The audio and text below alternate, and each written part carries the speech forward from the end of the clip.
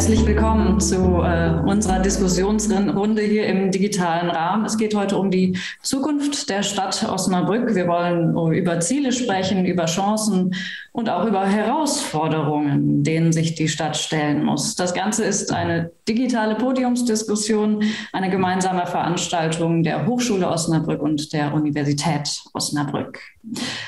Werfen wir den Blick in die Runde. Wer ist heute mit dabei? Wir haben Professor Dr. Martin Franz mit dabei von der Universität Osnabrück. Er ist Leiter des Instituts für Geographie, spezialisiert auf Human- und Wirtschaftsgeographie.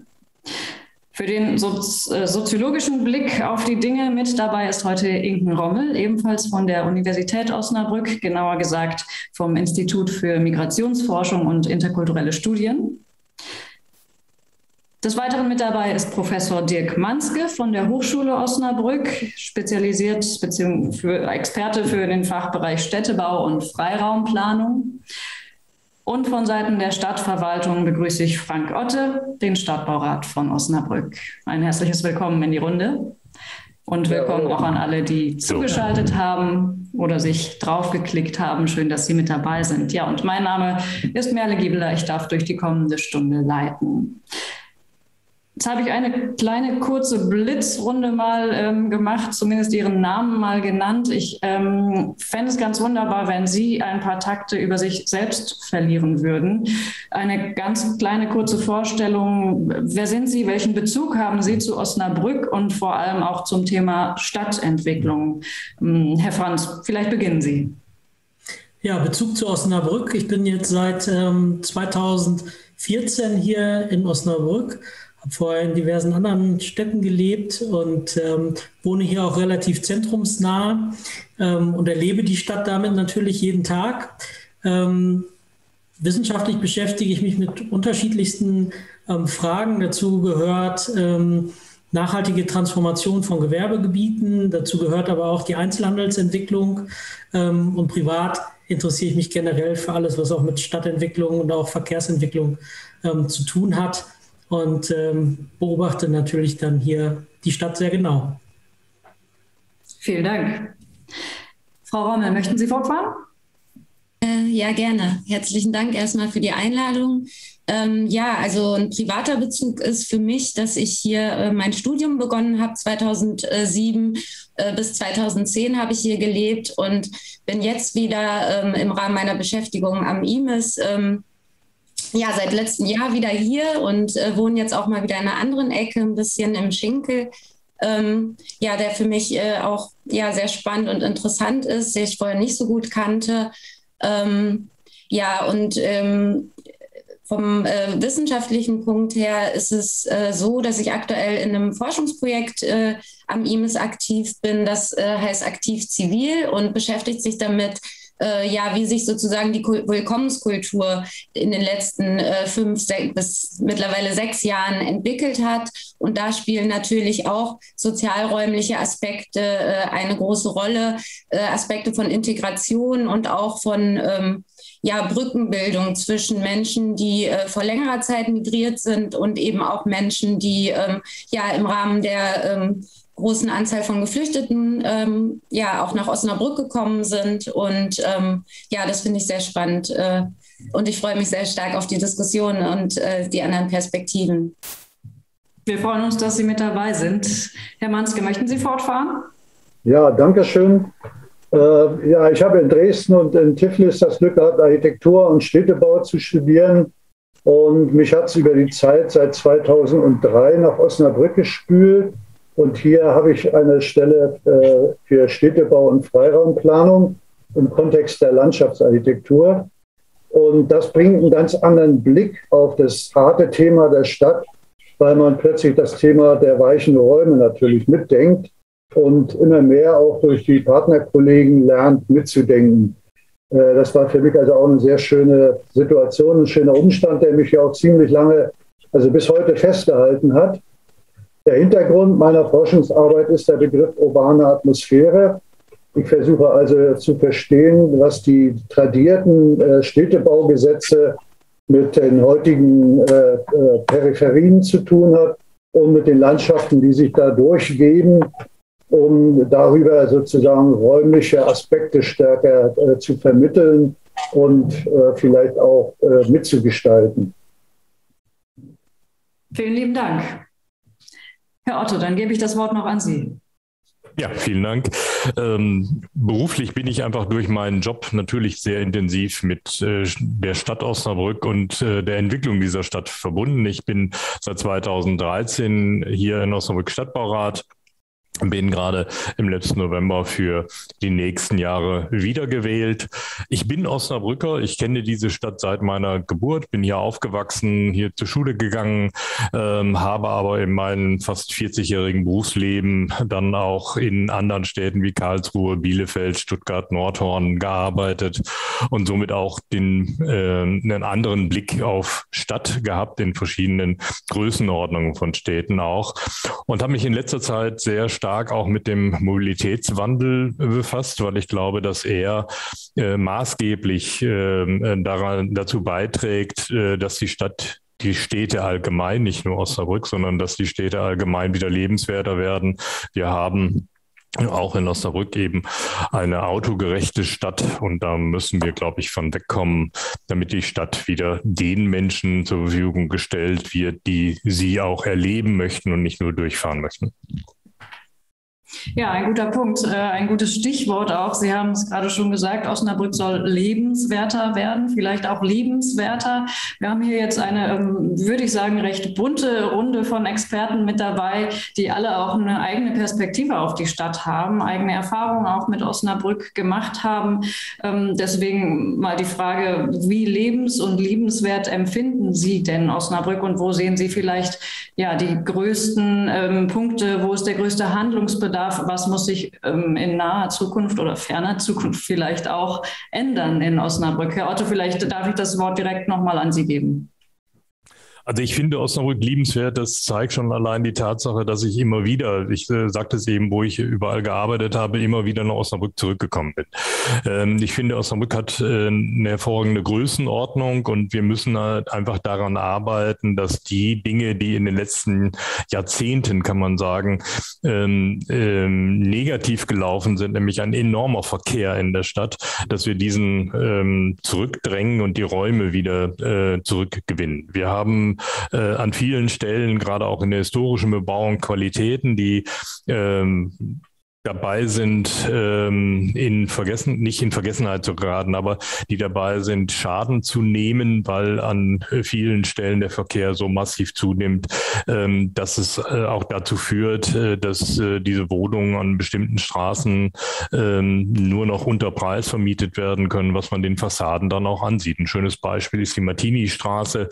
Wenn man da durchgeht, ähm, und dann finden Sie dort wirklich schöne historische Fassaden, die aber nicht unterhalten werden, ähm, weil äh, sich das anscheinend nicht lohnt und äh, man nicht die Mieten erzielen kann, äh, die man dafür braucht. Ich finde, das ist ein Faktor, der oftmals äh, überhaupt nicht oder ganz wenig Beachtung findet, wie viel Vermögen vernichtet wird dadurch, dass wir uns es leisten, ähm, dass wir 60.000 Einpendler in die Stadt haben, äh, die ähm, anscheinend keine andere Wahl haben, äh, als mit mit dem Auto zu kommen. Das äh, sei aber nochmal diskutiert, äh, ob sie wirklich keine Wahl haben. Ich habe eine hege eine sehr große Hoffnung, dass wir in einem Umformungsprozess jetzt sind, auch durch die Pandemie.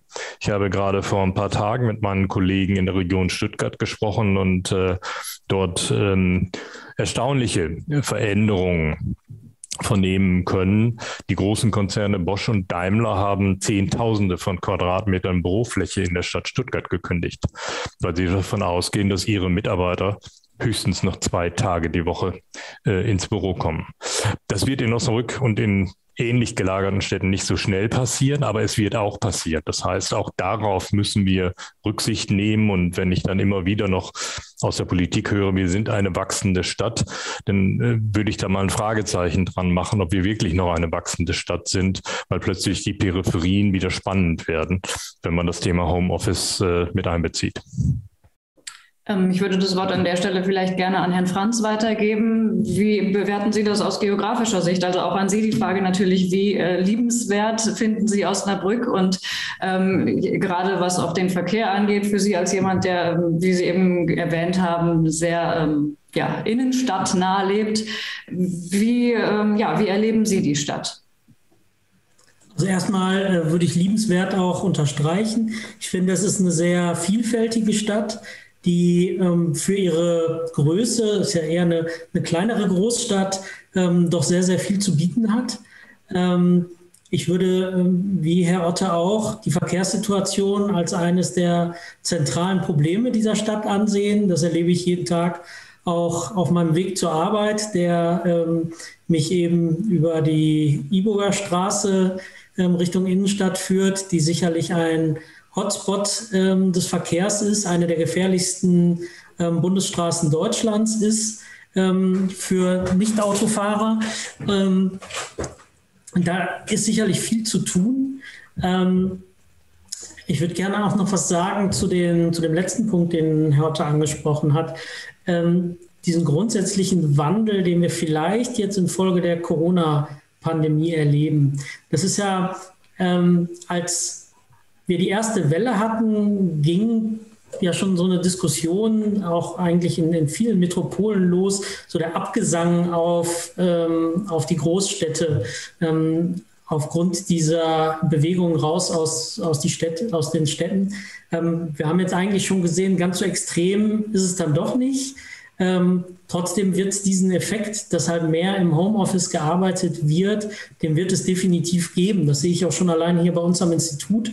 Ähm, auch jetzt, wo die Leute eigentlich wieder zurückkommen dürfen, ähm, tun das längst nicht alle so in dem Ausmaß, wie sie es vorher ge getan haben.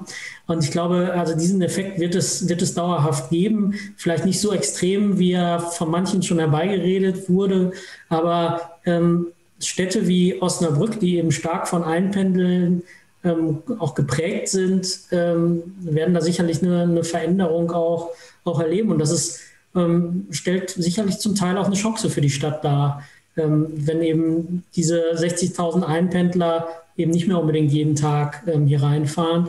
Wobei man auch sagen muss, das betrifft natürlich nur ganz bestimmte Berufssparten, für die das überhaupt möglich ist, im Homeoffice zu arbeiten. Auch das muss man bedenken.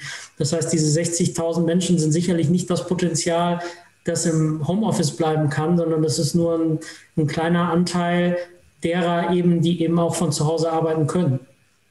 Wer sind denn die Leidtragenden, wenn das Homeoffice zunimmt und immer weniger Menschen wirklich in die Stadt pendeln? Die Leidtragenden ähm, aus meiner Sicht ähm, sind in erster Linie eben die Dienstleister, die eben auch auf diese ähm, Einpendler vielleicht als Kunden angewiesen sind.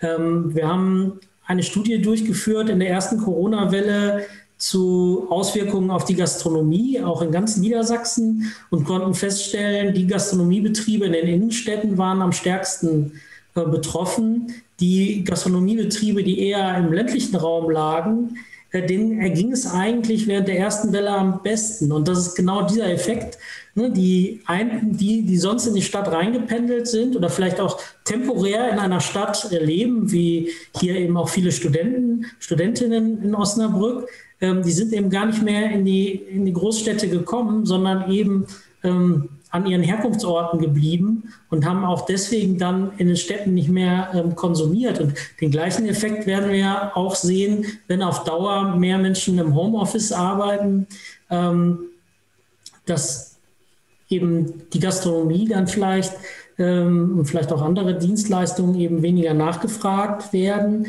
gleichzeitig wird es vielleicht auch mehr Leute dazu verleiten, ähm, weiter aus der Stadt herauszuziehen ähm, weil eben der Pendelaufwand nicht mehr so groß ist. Und das könnte sich natürlich auch ähm, auf Mietniveau, auf Wohnungsnachfrage, Häusernachfrage auswirken, weil ich ja da sagen würde, das ist eher ein positiver Effekt.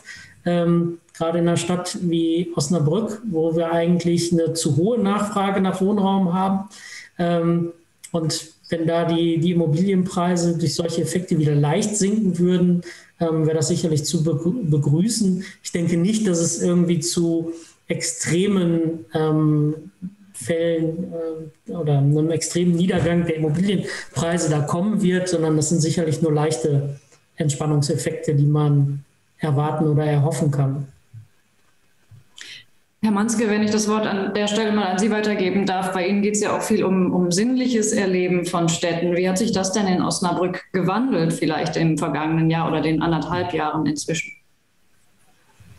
Ja, danke für die Frage. Also nach der Corona-Krise ist tatsächlich eine interessante äh, Beobachtung zu machen. Und zwar bedingt durch Corona haben wir ja die entleerte Stadt erlebt wir sahen sozusagen das Ergebnis jahrzehntelanger monostrukturierter äh, Massenmobilität und äh, der monostrukturierten Fußgängerzone.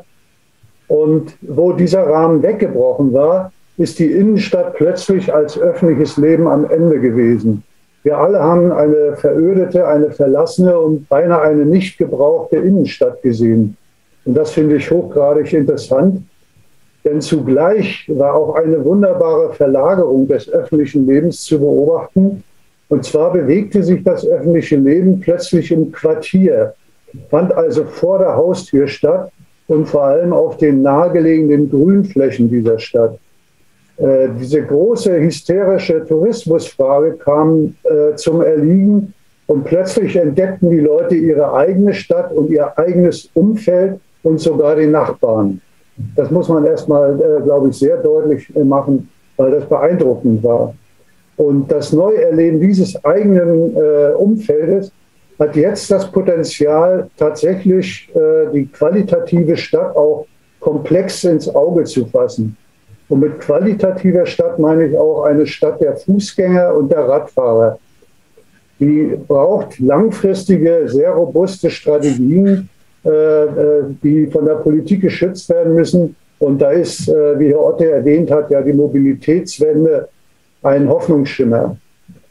Ich meine, konkret äh, gelernt haben müssten wir aus, der, aus den zurückliegenden, äh, sagen wir mal, zwei Jahren, dass das Leben in der Stadt und im Umfeld, also dort, wo wir unmittelbar leben, deutlich unterschätzt worden ist.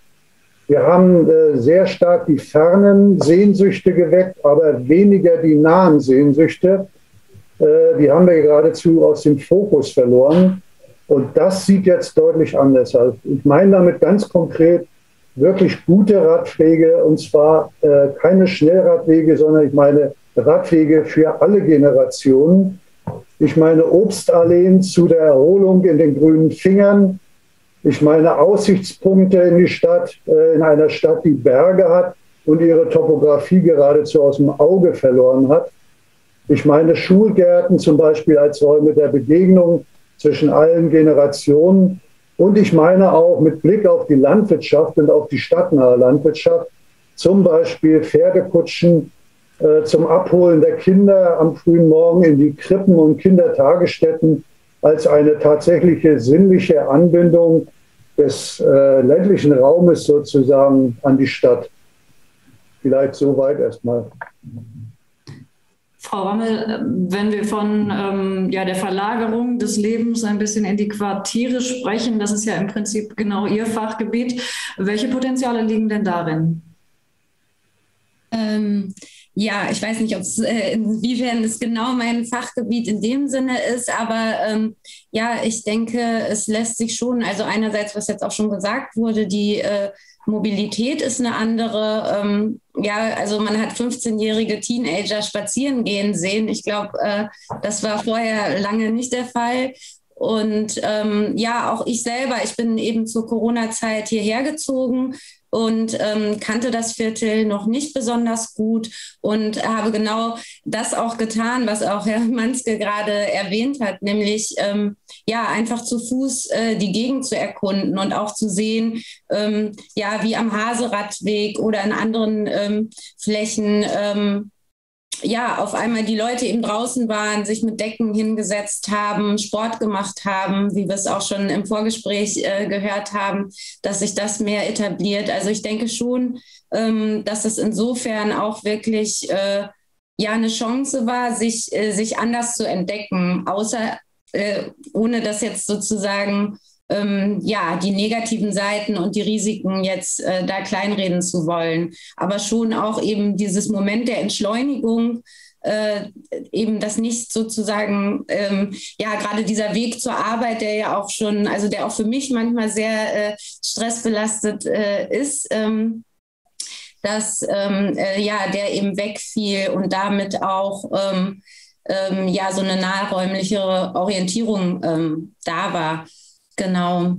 Ähm, was für mich noch, äh, also um, um, zu Ihrer Frage am Anfang zurückzukommen, äh, da hatten Sie ja noch gefragt, was sozusagen noch außerhalb der Mobilität jetzt äh, wichtige Themen wären. Und da ist für mich auf jeden Fall auch ähm, ja das Thema Leerstand ein wichtiges, ähm, was denke ich auch ähm, ja maßgeblich sozusagen das atmosphärische, ich sag mal gerade jetzt um den Neumarkt herum, aber ich sehe das auch hier im Schinkel, wo sehr sehr viele kleine Ladenlokale mittlerweile leer stehen äh, und ähm, ja auch viel renovierungsbedürftig ist. Ähm, ja, das ist, denke ich, schon ein, ein, Problem, was schade ist, weil wir haben ja auch gerade gehört, einerseits gibt es äh, Wohnraumknappheit, andererseits fehlen vielleicht Begegnungsorte, gerade auch ähm, für Menschen, die neu in Osnabrück sind, ähm, die auch hierher geflüchtet sind, ähm, aber eben auch, um in Kontakt zu kommen, eben mit äh, äh, ja, den anderen ähm, äh, Mitbürgern hier. Und ähm, das ist auch etwas, was wir halt im Kontext unseres Projektes jetzt, wo die äh, Datenerhebung noch läuft, aber was wir immer wieder zu hören bekommen, ist, dass so niederschwellige Begegnungsorte äh, ganz stark äh, sozusagen zivilgesellschaftlichen äh, Zusammenhalt und auch eine Kontinuität eben ähm, ja, eröffnen können. Und das war natürlich jetzt sehr schade, dass es gerade ähm, ja in diesen beschränkten Zeiten äh, durch die Corona-Pandemie ähm, ja viele solche Räume teilweise sogar geschlossen wurden, teilweise eben nicht weiter ähm, ähm, aufrechterhalten werden konnten. Und wir haben in unseren Interviews auch schon festgestellt, dass da auch einiges an Engagement jetzt über die letzten anderthalb Jahre dann weggebrochen ist. Mhm. Herr Otto, Sie hatten sich vorhin mal gemeldet. Ist das noch dazu? Sonst ja, das also es ist eben insgesamt eigentlich zu allen dreien. Also ich glaube, ähm, ich kann eigentlich allen äh, Rednern zustimmen. Nur muss man zwei Dinge vielleicht nochmal beachten. Nämlich das eine ist, dieser Blick, den Dirk Manske hatte auf die Menschen, die in der Stadt leben und die Freiräume in der Stadt und die Wege neu erlebt haben. Das ist sicherlich auf jeden Fall positiv. Ähm, das andere ist aber auch, dass man feststellen muss, dass die Stadt, eine Städte wie Osnabrück äh, in dieser Größenordnung nicht aus sich selber existieren können. Das heißt, wir brauchen das Umland, wir brauchen natürlich die Menschen, die aus dem Umland kommen, die hier einkaufen, die hier arbeiten, äh, die die Betriebe am Laufen halten. Das äh, hatte Herr Franz Franz ja eben auch schon äh, bemerkt, dass auch nur ein Teil dieser Leute überhaupt äh, Homeoffice-fähige Arbeitsplätze haben. Andererseits haben wir natürlich auch in der Stadt selber eine Menge Menschen, die hier leben, die auch Homeoffice-fähige Arbeitsplätze haben. Und da in, diesen, in dieser Kombination liegt, glaube ich, die Chance. Ähm, ähm, den einen Punkt muss Herr Manske vielleicht nochmal beantworten. Da bin ich so ein bisschen skeptisch, ob wir unsere Freiräume so attraktiv gestalten können, dass sie über die Stadtgrenze hinaus wirken und, ähm, äh, und Anziehung entfalten. Ich bin aber der festen Überzeugung, dass wir zumindest die Innenstadt so attraktivieren müssen, dass sie Anziehung nach außen weiter entfaltet, aber dann eben auf eine verträgliche Art und Weise und und vor allen Dingen auch mit einer verträglichen Mobilität. Und deshalb ähm, muss ich in einem Punkt Dirk Manske widersprechen. Natürlich brauchen wir Radschnellwege, nämlich damit die Leute von außen dann eben doch lieber mit dem Fahrrad äh, in die Stadt kommen. Ähm, sie, es wird weiter Wege geben, die ich auch schnell zurücklegen möchte und nicht nur die Wege, die ich entspannt und erholsam zurücklegen möchte. Also das wird, glaube ich, ein wichtiger Aspekt der Zukunft sein, dass wir die Innenstadt attraktivieren, dass wir die Menschen, die dann vielleicht nur noch zwei Tage die Woche in die Stadt kommen, dass wir aber trotzdem Reize auf sie ausüben, dass sie dann äh, an den anderen Tagen dann für die Freizeitgestaltung, äh, um in die Gastronomie zu gehen, dann doch wieder zurückkommen äh, in die Stadt und diese Freie, Freizeit dann auch hier genießen, sonst werden wir Probleme haben. Ich würde an dieser Stelle gerne ähm, ein paar Sätze von Frau Katja Czalic ähm, hier erwähnen. Sie hat uns vorab ein Statement zukommen lassen. Sie ist vom Handels- und Dienstleistungsverband Osnabrück-Emsland und hat uns ein sehr ausführliches Statement ähm, aus ihrer Sicht zur Stadtentwicklung Osnabrück geschickt. Das passt an dieser Stelle ganz gut rein. Ähm, sie ist der Meinung, dass die Multifunktionalität der Innenstadt, wir sprechen jetzt speziell über die Innenstadt, ähm, so das große Potenzial der Zukunft ist. Ich ähm, lese mal vor. Es geht in Zukunft darum, einen ausgewogenen Mix aus allen Funktionen für Osnabrück zu finden, also aus Handel, Gastronomie, Dienstleistungen, Tourismus, Kultur, aber auch Wohnen in der Innenstadt. Wohnen in der Stadt belebt einerseits und führt andererseits auch zu mehr Handel, denn es werden zum Beispiel mehr Lebensmittel benötigt. Weiter gedacht führt dies natürlich aber auch zu mehr Lieferverkehr und gegebenenfalls auch Pendlerverkehr. Und damit denke ich, ist ein weiterer wichtiger Punkt für die Zukunft der Innenstadt genannt, nämlich dass Osnabrück als Oberzentrum nicht nur die Osnabrücker mit Waren versorgt, sondern auch die Umlandbewohner mit Waren und gegebenenfalls Dienstleistungen versorgen soll und muss. Die Erarbeitung eines modernen Verkehrskonzeptes wird daher eine der wichtigsten Aufgaben der nächsten Monate und Jahre sein. Hier gilt es, ein durchlässiges Verkehrskonzept für alle Verkehrsträger zu entwickeln. Das mal ähm, ein kleiner Auszug aus äh, Ihren Worten, die sie uns vorab geschickt hat. Ähm, ja, ein, ein durchlässiges Verkehrskonzept. Wie kann denn sowas aussehen? Mal die Frage in die Runde.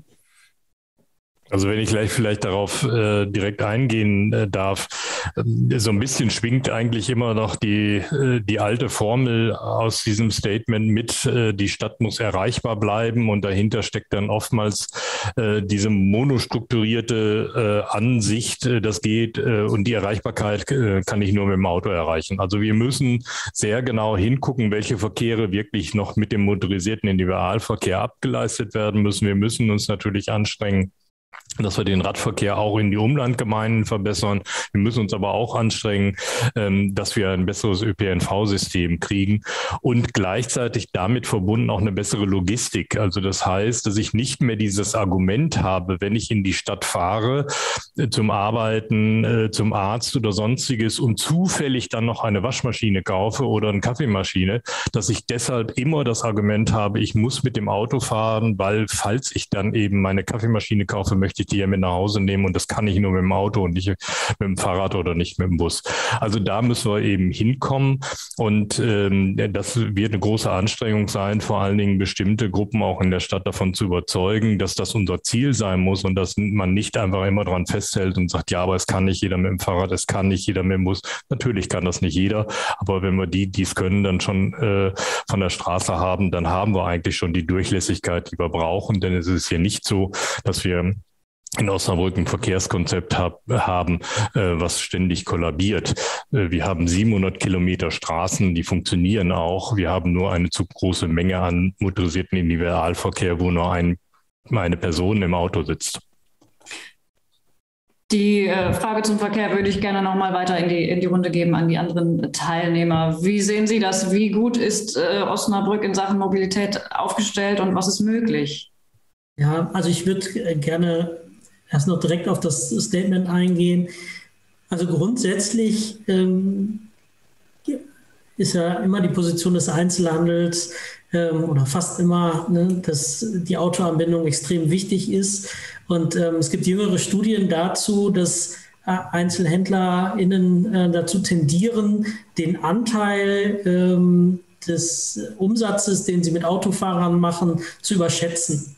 Ähm, das heißt, der Anteil derer, die eben nicht mehr mit dem Auto kommen, ist tendenziell höher, als ähm, der Einzelhandel das selber annimmt. Ähm, das heißt natürlich nicht, dass äh, man jetzt nur darauf setzen sollte, alle, die jetzt zum Einkaufen nach Osnabrück kommen, sollen jetzt nur noch mit dem, mit dem Lastenrad oder dem Fahrrad äh, kommen. Das ist natürlich unrealistisch.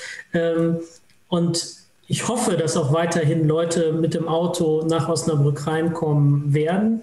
Ähm, denn die, die größte Konkurrenz ist natürlich der Onlinehandel, der eben auch dazu führen wird, dass viele der Menschen, die ähm, früher nach Osnabrück mit dem Auto zum Einkaufen gekommen sind, vielleicht auch jetzt noch.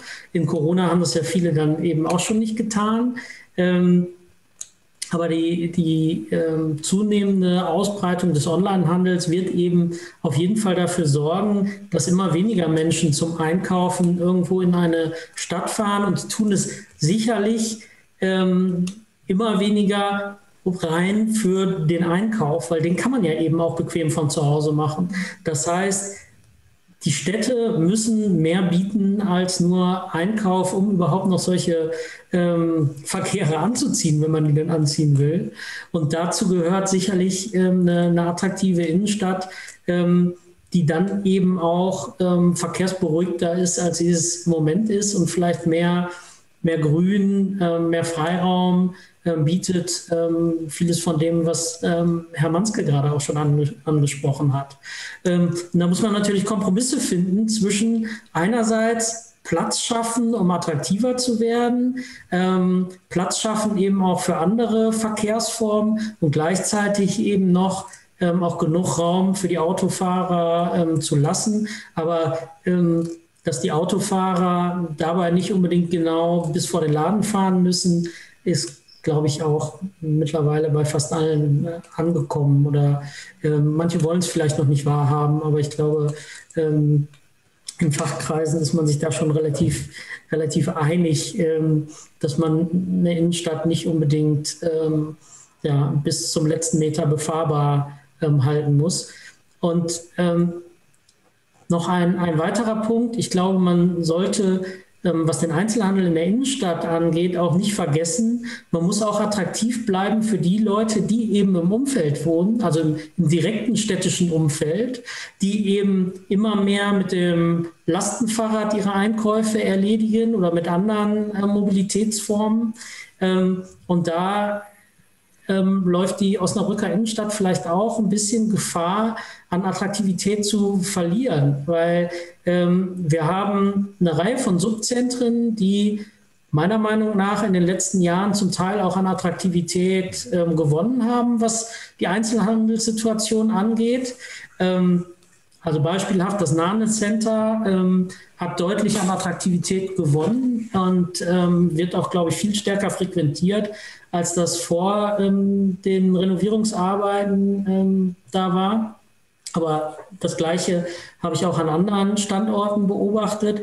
Und die stehen natürlich auch als Konkurrenz zur Innenstadt. Und wenn ich den ähm, mit dem Fahrrad oder mit dem Lastenrad äh, meinen mein Einkauf erledigen will, ähm, ist dann natürlich auch die Entscheidung, fahre ich in das Subzentrum, das näher ist, wo ich vielleicht mein Lastenrad auch besser abstellen kann, oder fahre ich in die Innenstadt, wo ich eigentlich gar keine Abstellmöglichkeiten vernünftig für ein Lastenrad habe. Ähm, Orte schüttelt etwas den Kopf. Ähm, ich bin selber kein Lastenradfahrer, aber ähm, also ich beobachte das immer wieder, dass ähm, da scheinbar Schwierigkeiten bestehen, richtige Stellplätze für zu finden. Ähm, naja, ist auch nur ein, ein Beispiel. Das, das Lastenrad ist dabei natürlich eigentlich nur ein Symbol für, für neue Mobilitätsformen, die eben auch mehr Platz beanspruchen, mhm. weitere Radwege brauchen. Und ähm, darauf ist diese Stadt noch nicht eingestellt. Herr Manske, weil Sie jetzt schon häufiger auch nochmal ähm, erwähnt wurden, wie äh, ein Osnabrück, das nach außen hin strahlt, über seine Grenzen hinweg, wie ähm, sieht das aus, ja, aus verkehrspolitischer Sicht? Wie sieht der Verkehr dort aus? Wie sieht die Innenstadt aus? Wie sehen die Quartiere aus? Also ich bin kein Verkehrsspezialist äh, und will die Diskussion jetzt auch nicht weiter vertiefen. Ich wollte nur vorhin sagen, dass ich äh, nicht nur Radschnellwege hier sehen will, sondern eben mehr Generationen Radwege, wo auch alle Generationen was machen können. Äh, und die Fördermittelkultur ist mitunter eher sehr schlaglichtartig und fördert dann eben diese großen Radwege, wo man dann von allen Seiten Leute, die älter sind äh, oder auch jünger sind, hört, dass man die gar nicht benutzen kann, weil da ziemlich hart Fahrrad gefahren wird. Und das muss man dann natürlich auch ins äh, Gewicht bringen. Was die Vernetzung der öffentlichen Räume betrifft mit dem Umland, das ist eine ganz spannende Frage, wie ich finde. Die Hochschule hat sehr, sehr viele Konzepte entwickelt zu der Frage Erholungslandschaften äh, bis nach Bramsche, äh, Wallenhorst und so weiter, also ins ganze Umland. Da gibt es reichlich Möglichkeiten und äh, wir müssten viel verstärkter die Umlandkommunen in diese Planung mit einbinden und hier interkommunale Konzepte entwickeln, die uns äh, stärker verknüpfen und zusammenbringen, die im Sinne von Landschaft äh, im äh, Grunde genommen auch denken. Und da ist es für mich äh, so eine, die kleine Metapher, ist das Erdgeschoss äh, im Parkhaus, das man längst äh, von mir aus ab Montag umfunktionieren könnte als Fahrradstellplätze. Wir haben reichlich Parkhäuser in der Innenstadt und die könnten sofort das Thema Fahrrad aufgreifen äh, und schon sind die äh, Parkmöglichkeiten in der Innenstadt eingeschränkt. Äh, und dann hätte man schon eine Menge an Möglichkeiten, die man umsetzen kann. Ne? So als interessanter Griff, so wie das unsere Nachbarn, die Niederländer, schon seit 30 Jahren machen. Dann das Thema grüne Finger will ich mal aufgreifen, um den Fokus nochmal zu verbreitern von den versiegelten Mobilitätsräumen zu den weichen äh, äh, räumen. Und zwar äh, bieten diese grünen Finger ja gerade das Potenzial, dass sich diese Stadt im Nahraum tatsächliche Erholungslandschaften beinahe bis vor die Haustür leisten kann und die auch entwickeln kann. Und das ist ein faszinierendes äh, gesamträumliches äh, Bild, was man sich da vorstellen kann, dass eine Stadt geradezu äh, idealtypisch Freiräume zu bieten hat, die äh, die Innenstadt beinahe treffen oder berühren oder auch erreichen, sodass man also entscheiden kann, ob man in der grauen Infrastruktur mit dem Fahrrad rausfährt oder in der grünen Infrastruktur äh, mit dem Fahrrad rausfährt. Das ist ein faszinierendes Bild einfach. Und ich finde es sehr wichtig, dass man die Mobilitätsdiskussion äh, nicht nur an Zahlen koppelt, sondern vor allem auch an Erlebnisqualitäten und an räumliche und sinnliche Aspekte äh, ich kann dann anhalten und meinetwegen Yoga auch alleine am Radweg machen, äh, weil ich dazu Lust habe. Oder ich kann eben auch Obst pflücken vom Apfelbaum, wie ich das vorhin erwähnt habe, um einfach diese ganz stark gewollten, weicheren Aspekte in eine mittelgroße Stadt reinzuholen. Und ich meine, dass da ein, ein großes, ein sehr großes und möglicherweise unterschätztes Potenzial in der Stadt äh, ablesbar ist, also eigentlich offensichtlich ist. Und wir versuchen das in unserem Forschungsprojekt äh, über die grünen Finger ja sehr stark auch herauszuarbeiten und noch einmal vielleicht in einer möglicherweise günstigen Stunde gerade. Wir haben ja die Sturmerfahrung, die Hochwassererfahrung hinter uns. Wir sehen die Trockenperioden und so weiter. Äh, und wir sehen aber auch gleichzeitig äh, die, den Bedarf nach einem neuen qualitativen öffentlichen Raum, äh, dass da die Grünen Finger ein, ich glaube, europäisch messbares, unvergleichliches Potenzial bieten, die hm. Innenstadt, die Stadt überhaupt zu entwickeln. Und noch ganz kurz eine, eine Anregung, und zwar die Innenstadtdiskussion würde ich unbedingt mit der Quartiersdiskussion zusammendenken wollen. Ich finde es schwierig, die Innenstadt zum Designobjekt für Festivalisierung, äh, Events und Shopping zu machen äh, und äh, nur an den Einzelhandel zu knüpfen, sondern die Innenstadt ist auch ein Wohnraum und ein äh, Bereich, in dem Wohnen eine elementare Möglichkeit bietet. Es werden endlos an den Stadträndern äh, Wohnungen gebaut in Form von äh, einfachen Gebäudetypologien, während in der Innenstadt hochwertiger Wohnungsbau sehr gut vorstellbar ist. Und ich kreiere ja schon äh, seit längerem äh, eine Bauform, das Osnabrücker Stadthaus äh, zu kreieren und zu entwickeln, auch über äh, Wettbewerbe zum Beispiel, wo man einen Typus entwickelt, der diese Innenstadt als Wohnform mit mhm. äh, äh, messbaren Hausgrößen, die sogar auch noch einen Innenhof und einen Laubengang haben können, äh, wieder entwickeln könnte, um zum Beispiel auch diese kleine, sensible Typologie des Hofes herauszuarbeiten. Der Hof in Osnabrück ist ein versiegelter Parkplatz und Müllplatz. Es ist aber kein Lebensraum, es ist kein Lebensort. Und gerade an diesem Ort äh, kann auch ein ökologisches Denken anfangen, weil ich kann in den Höfen Gärten entwickeln, ich kann da Spielplätze draus machen, aber ich brauche da keine Autos drin. Das ist auch wieder so ein ganz großes Thema, was so schwer umzusetzen ist. Vielleicht da würde ich gerne einhaken, Herr Manske. Wir haben ähm, auch vom Naturschutzbund ein, diesmal ein Videostatement ähm, uns zukommen lassen. Jonas Brandt hat uns da was zugeschickt. Das äh, schauen wir uns jetzt einmal gemeinsam an. Ja, hallo, ich bin Jonas Bold, war jetzt lange Jahre Jugendsprecher beim NABU in Osnabrück, also beim Naturschutzbund und mein Fokus liegt daher auf den Bereichen Naturschutz und Umweltbildung. Das sind zwei Bereiche, die meiner Meinung nach eng zusammengehören, denn wir brauchen einerseits natürlich Flächen, auf denen wir irgendwelche ja, wertvollen Biotope schaffen können oder ähm, die wir aufwerten können als Lebensräume für Tiere und Pflanzen. Andererseits brauchen wir auch Menschen, die bereit sind, diese äh, Flächen weiterhin zu erhalten, die bereit sind, etwas für Natur- und Umweltschutz zu geben.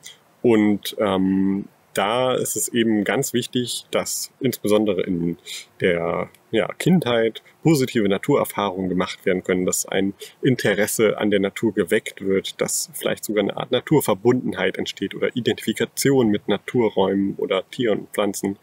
Und ähm, genau, das sind zwei Aspekte, die aber sehr gut auch Hand in Hand gehen, denn ähm, ja, in schönen sage ich mal, oder in artenreichen Naturräumen halten sich Menschen auch gerne auf. Also da gibt es auch ja, viele umweltpsychologische Untersuchungen zu. Und ähm, an sich äh, haben wir in Osnabrück auch die Möglichkeit, also es gibt Parks, Friedhöfe, Spielplätze, viele, viele Grünflächen. Und unsere Aufgabe ist es meiner Meinung nach, diese Flächen aufzuwerten, konsequent dafür zu sorgen, dass da eben die Artenvielfalt erhöht wird und diese Flächen aber dann gleichzeitig auch zugänglich sind, zugänglich bleiben, ähm, dass einfach eben ja diese Verbindung entstehen kann, dass äh, sie genutzt werden können für Umweltbildungszwecke.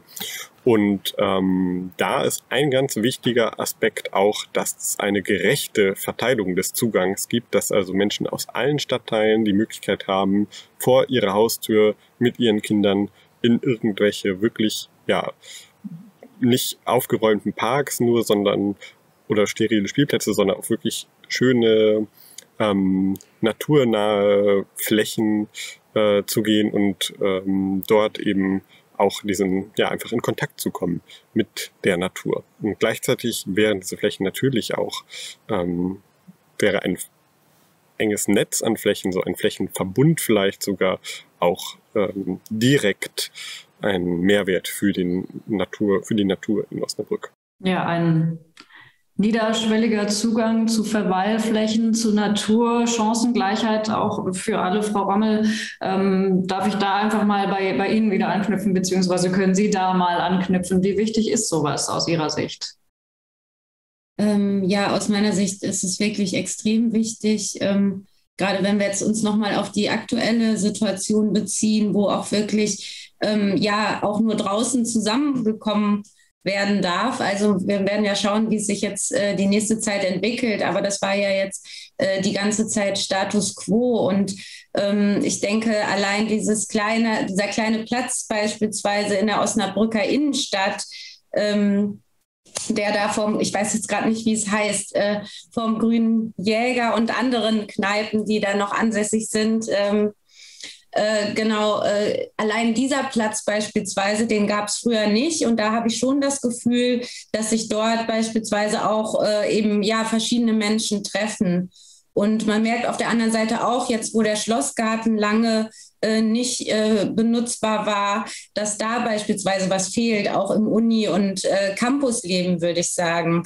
Ähm, und ähm, Genau, also mein Fokus ist natürlich jetzt erstmal nicht ähm, im spezifischen, ähm, äh, dass sich das äh, sozusagen in, unbedingt in solchen Naturräumen stattfinden muss, aber ich denke, die Kombination davon ist auf jeden Fall ähm, ja, kann sehr fruchtbar sein, denke ich. Und ähm, es ist da auch wichtig, ähm, sozusagen auch Stadtteile, die vielleicht als Brennpunktstadtteile oder als sozial schwache Stadtteile äh, gesehen werden, vielleicht in solcher Hinsicht äh, insbesondere zu unterstützen, weil es eben auch ähm, ja, ähm, wie wir auch in unserem Projekt ähm, immer wieder sehen, ähm, Anschlussmöglichkeiten dann gibt für äh, weiterführendes zivilgesellschaftliches Engagement, für äh, ja einfach Kontaktnetzwerke, äh, die entstehen und Kontakte, die entstehen.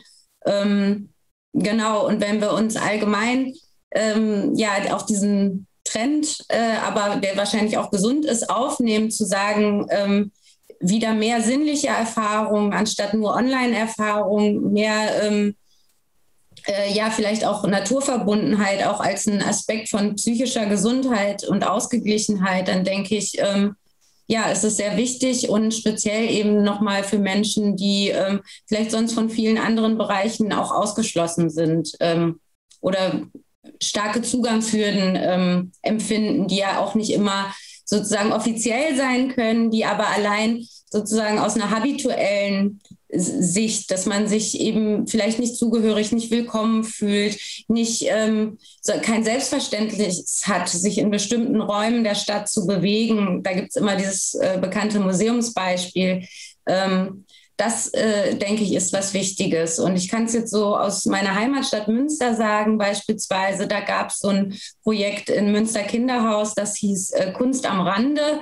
Und äh, das hat letztes Jahr stattgefunden. Das war beispielsweise schön, weil ähm, ja, Kunstwerke in der Natur aufgehangen wurden ähm, und auch durch einen Verein organisiert und dadurch ähm, ja einfach auf den Spazierwegen das zum Beispiel erfahrbar war und äh, es eben äh, solche Hürden dann nicht gab. In Osnabrück gibt es ja ähm, ziemlich viele Flächen, die inzwischen ähm, ja, frei geworden sind, neu genutzt werden können. Wir sprechen von den Konversionsflächen, auf denen, ja, die früher von den britischen Streitkräften äh, genutzt wurden. Es gibt sehr viel Raum, der jetzt im Prinzip ja, neu gestaltet werden kann. Welches Potenzial liegt in diesen Räumen, auch mit Blick zum Beispiel auf naturnahe Räume oder neue Wohnformen, die dort geschaffen werden können? Also ich glaube, wenn ich darauf antworten darf, ähm, so viel sind diese Räume gar nicht mehr. Denn äh, von den Konversionsflächen der ehemaligen britischen Streitkräfte ist die letzte Kaserne der Limberg derzeit in der Umsetzung. Das heißt, diese, dieses ganze Potenzial ist bereits aufgebraucht. Ähm, ob richtig aufgebraucht oder ob ähm, das man auch hätte anders machen können, ähm, will ich einfach mal dahingestellt lassen. Aber es ist aufgebraucht. Das hat in erster Linie dazu gedient, äh, der Wohnraumnachfrage zu dienen. Die meisten Flächen sind wirklich als Wohnungsflächen äh, benutzt worden. Ich sehe aber in den doch noch verbleibenden, zum Beispiel dem Güterbahnhofsareal, ähm, eine gute Chance, wirklich zu einer anderen Form der Stadt zu kommen. Wir haben dort ja das Ziel, dass wir ähm, auch so nah, zentrumsnah eine große Anzahl von Wohnraum schaffen, dass dieses Quartier nach Möglichkeit energieautark sein soll, dass es sich um eine Schwammstadt handelt, die äh, gleichzeitig auch einen eigenen Wasserhaushalt sozusagen hat. Das heißt, äh, auch dem entgegenwirkt, was ein Zukunftsproblem in den Städten ja sein wird, nämlich mit Starkregen umzugehen. Und äh, all das versuchen wir in so einem, ja, kann man fast sagen, experimentellen Stadtteil ähm, äh, unterzubringen äh, auf diesem Güterbahnhofsgelände. Und äh, da sehe ich eine gute Chance drin. Bei den anderen Gebieten haben wir eine große Kleinteiligkeit Möglichkeit, die wir derzeit noch entwickeln können, wo wir an vielen Stellen dann schon auf Probleme stoßen und äh, nicht zuletzt natürlich auch ähm, im politischen Raum noch völlig unterschiedliche Ansichten darüber existieren, wie Stadt der Zukunft dann auch aussehen soll. Also wir sind uns, habe ich so das Gefühl, relativ einig hier in diesem Forum. Ähm, da, da, sind es nur Nuancen, die uns vielleicht unterscheiden. Ähm, aber das ist lang, noch lange nicht im politischen Raum Raum und in der Bevölkerung äh, angekommen. Das sehe ich noch als das größte Problem an. Hm. Wenn wir von so einem Zukunftsviertel wie dem Lokviertel sprechen, was ja wirklich auch so ein bisschen als ja, experimentelles Viertel, in dem auch viel ausprobiert werden soll, angelegt ist. Herr Manske, äh, welche Potenziale sehen Sie da zum Beispiel? Also äh, das äh, Lokviertel, das sehe ich eigentlich als einen Glücksfall an für die Stadt.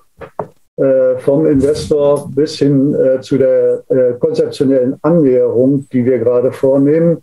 Ein Glücksfall, der auch ausstrahlen kann, was Städtebau in den letzten 10 bis 15 Jahren leisten muss. Das darf man vielleicht sogar so sagen. Es gibt dort eine fachlich sehr kooperative Umgangsweise innerhalb der Kollegenschaft. Und ich glaube, dass auch die Politik erkennen wird, dass in dem Quartier äh, schon ein Modellfall möglich ist, äh, statt tatsächlich, äh, ja, im Grunde genommen, es ist ja verrückt, hinterm Bahnhof zu entwickeln. Als Metapher ist es ja verrückt, aber es ist tatsächlich so. Und ich glaube, dort kann es gelingen, gerade die fachliche Kompetenz der Region auch zu versammeln. Und das muss auch gelingen, weil äh, dieses Quartier im Moment äh, so viel Potenzial verspricht und nicht, nicht ein Versprecher werden sollte. Das wäre wirklich sehr schade und wohl auch eine große Enttäuschung für die lokale Kollegenschaft. Da muss man ja auch mal eine Lanze brechen. Wir haben interessante Architekten in der Region, in der Stadt, die an, an solchen Stellen auch zu Werke kommen sollten und bauen können sollten dann auch.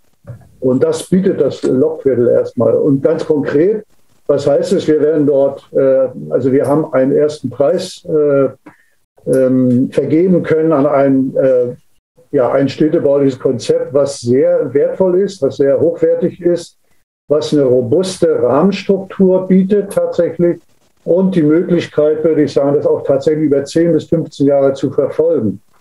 Man muss sich dahinter versammeln, wenn man das erreichen will und das politisch auch möglichst äh, äh, wohlwollend im Auge behalten, weil es einfach äh, langfristig wie eine Botschaft aus dieser Zeit äh, wirken könnte. Entschuldigen Sie, wenn ich ein bisschen schwärme, aber äh, das ist nicht tatsächlich ein Punkt, der nicht überall so glückt, wie wir es jetzt gerade haben. Und mhm. deswegen bin ich da ziemlich meinungsstark positiv äh, und erstmal auch ohne große Differenzierung, ehrlich gesagt.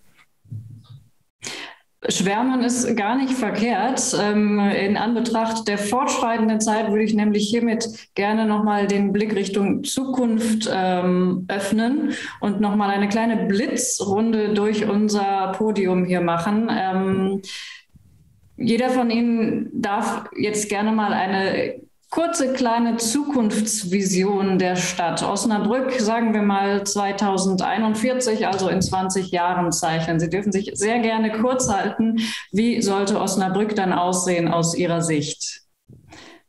Frau Rommel, vielleicht beginnen Sie. Äh, ja, vielen Dank. Ja, wir haben ja hier schon viele ähm, schöne Ideen gehört. Also gerade äh, in Sachen ja, Verkehrsberuhigung äh, würde ich mir wünschen. Also es gibt ähm, ja, vielleicht sogar eine autofreie Innenstadt. Ähm, was von mir jetzt, ich bin kein Verkehrsplaner, manchmal vielleicht etwas naiv wäre, ist die Vorstellung einer Tram äh, im, im Innenstadtbereich und ähm, ja, die sozusagen dann möglich macht, ähm, äh, ja, ohne ähm, Kraftfahrzeuge äh, da bestimmte Strecken noch ähm, zu erreichen. Ansonsten stelle ich mir eine Stadt vor, ja, die, ähm, die es schafft, auch einen Ausgleich zu schaffen zwischen den verschiedenen Quartieren, sodass sich soziale Ungleichheiten nicht weiter verfestigen. Das heißt natürlich auch Investitionen ähm, ja, in schöne Grünflächenprojekte, aber auch in handfeste ähm, ja, Integrationsprojekte, Bildungsprojekte, die dann notwendig sind und auch einfach ähm, ja, Investitionen, um den einen oder anderen Stadtteil vielleicht aufzuwerten. Ein Punkt, der mir jetzt vielleicht noch wichtig wäre, der gar nicht angesprochen wurde, ist auch ähm, die Drogenszene in Osnabrück. Also ähm, ja, hat vielleicht auch was mit dem Gesamteindruck vom Neumarkt zu tun. Da wäre es mir äh, auch wichtig, da vielleicht eine Diskussion äh, zu führen, äh, ob äh, Konsumräume, ähm, die staatlich finanziert sind, beispielsweise eine Möglichkeit wären, die Lebensqualität äh, der Konsumentinnen, aber eben auch äh, der Anwohner und ähm, Passanten dort zu verbessern. Ja, vielen das Dank, würde ich mir wünschen. Vielen Dank, dass Sie den Punkt hier am Ende noch ähm, mit reinbringen konnten. Eine Zukunftsvision, Herr Franz, Osnabrück 2041. Wie sieht Ihre aus? Ja, also ich, ich hoffe, wir haben dann eine ähm, von attraktiver Nutzungsdurchmischung geprägte äh, Innenstadt. Und ich hoffe, wir haben ähm, nachhaltiger gestaltete Gewerbegebiete, ähm, in denen ähm, viele hochwertige Unternehmen sitzen, die ähm, attraktive Arbeitsplätze bieten und damit weiter ähm, ja, Osnabrück ermöglichen, eine prosperierende Stadt zu sein und äh, eine Stadt, in der die Lebensqualität vielleicht noch weiter hoffentlich gewachsen ist, in dem eben auch die, die grünen Finger, die Herr Manske ja schon ausführlich angesprochen hat, ähm, erhalten geblieben sind und vielleicht sogar noch in ihrer ähm, ja, biologischen Vielfalt, wie wir das in dem Einspieler gesehen haben, ähm, gewachsen sind. Ja, also das ist, ich glaube, es ist viel positive Entwicklung möglich, ähm, aber es gibt eben auch mit Digitalisierung, sprich Onlinehandel, mit Klimawandel und den Auswirkungen äh, und viele mehr ähm, sehr, sehr starke ähm, Herausforderungen und äh, es wird nicht einfach dahin zu kommen. Dankeschön. Herr Otto, dann gebe ich das Wort an Sie, Ihre Vision. Ja, 2041 werden wir eine Stadt haben, in der wir eine möglichst große Vielfalt in der Innenstadt haben, die sich nicht ausschließlich auf den Handel stützt ähm, und Gastronomie, sondern auch auf Freizeit, auf Dienstleistungen und ähnliche Dinge. Äh, 70 Prozent des Verkehrs werden nicht mit dem Auto gemacht werden, sondern mit ÖPNV, dem Rad und zu Fuß in der Stadt erledigt werden. Das setzt natürlich auch voraus, dass wir ein intelligentes Logistiksystem haben in der Stadt wo nicht jedes Päckchen in jede Straße einzeln gefahren wird, sondern andere Konzepte, an denen wir jetzt schon übrigens arbeiten, äh, dann greifen. Und 2041 haben wir hoffentlich äh, schon mindestens 18 Jahre in einem Zweckverband mit den Umlandgemeinden die Planungen durchgeführt und nicht jeder nur rund um seinen Kirchturm. Vielen Dank. Herr Manske, eine kurze Vision dann noch von Ihrer Seite. Ja, vielen Dank. Erstmal macht es Spaß zuzuhören. Ich finde, das sollte man mal als Motiv in die Stadt reinstreuen, dass man Menschen ihre Vision 2041 einfach äußern. Das ist eine schöne, schöne Geschichte, die auch Spaß macht. Ich erlaube mir vielleicht, die sinnliche Stadt mal in den Fokus zu rücken, die emotionale Stadt. Also den Ansatz, der die letzten fünf bis acht Jahre in der Planung hochgekommen ist. Äh, und da vom Kleinen zum Großen. Tatsächlich äh, vom kleinen Detail der Stadt, also äh, der Trinkbrunnen und der Wasserbrunnen in der Innenstadt bis zum großen Rahmen der grünen Finger äh, hat die Stadt eine Menge, hätte die Stadt und hat die Stadt eine große Menge an Möglichkeiten, was zu tun. Das kann also der Spannungsbogen sein von der gesicherten Kunsthalle äh, Osnabrück, in der die Sinnesfrage in erster Linie diskutiert wird und in den Fokus genommen wird. Zeitgenössische Kunst ist einfach ein wunderbares Instrument, um mit künstlerischer Praxis auch sinnliche Wahrnehmungen zu erproben und mit Menschen auszuprobieren. Äh, ich sehe diese Stadt dann äh, vom Quartier zur Innenstadt ganz stark als eine fahrraderschlossene und Fußgängererschlossene Stadt, die sozusagen äh, über das Quartier zur Innenstadt führt und die Innenstadt weniger als einen Eventraum versteht, sondern tatsächlich auch als einen Stadtteil, in dem man wohnen kann. Äh, und dann zurückgeschaltet auf die äh, sinnliche Qualität der grünen Finger äh, und vor allem der Höhen, die diese Stadt hat. Wir haben ja sieben Berge um die Stadt herum, die viel stärker thematisiert werden sollten mit Aussichtsturmen, Balkonen, Treffpunkten, Restaurants und so weiter. Ließe sich eine Stadt der Wohnqualität entfalten, die vielleicht nur noch notwendig macht, dass man alle zwei Jahre die Stadt verlässt für seinen Urlaub. Vielen Dank für diese Worte. Ja, das war unsere Runde heute. Es ging um die Zukunft der Stadt Osnabrück, um Ziele, um Chancen, um Herausforderungen. Mit dabei Dirk Manske, Inken Rommel, Frank Otte und Martin Franz. Vielen Dank Ihnen, dass Sie dabei waren. Und danke auch an alle, die sich zugeschaltet haben und die Diskussion mitverfolgt haben. Ich bin Merle Giebeler und wünsche allen alles Gute. Ganz herzlichen Dank. Dankeschön. Danke. Herzlichen Dank.